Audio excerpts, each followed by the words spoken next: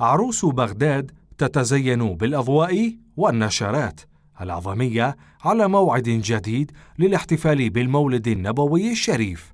الاستعدادات تبدأ من الصباح. محمود يحرص كغيره من البغداديين على القدوم إلى أحد الأسواق لتبضع حاجيات الاحتفال. أنا هسه دار أشتري تفوف وشموع وذني البرقان ويسموها وهذه الشغلات وبنفس الوقت قلت لك غذائي داخل تمن نحضر المواد الزردة ويا ربي أنا يعني كشخص مسلم أدعي الله سبحانه وتعالى أنه يأمن العراق والعراقيين. مرقد أبي حنيفة النعمان المحلات التجارية وحتى البيوت. جميعها ترتدي ثوب الاحتفال. احتفال يشترك فيه الجميع. فمناسبة المولد النبوي توحد صفوف العراقيين كما يقولون وتعزز وحدتهم. أشرف وأحسن مناسبة هي هاي.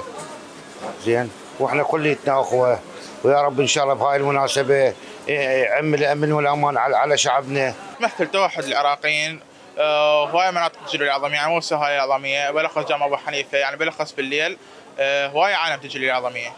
أني قلت لخالي اشترينا أعلام أنا وأخوي الصغير حتى واشتغلنا حتى وراح أروح نحتفل بالمولود النبوي الشاي ويعتاد أهالي العظمية الاحتفال بالمولد النبوي لتكون العظمية في هذا اليوم من كل عام قبلة البغداديين لإحياء هذه المناسبة. تقاليد وعادات بطرق مختلفة تحافظ على مكانتها عاما بعد آخر بمناسبة دينية بطابع اجتماعي يحرص أهالي العاصمة على إحيائها.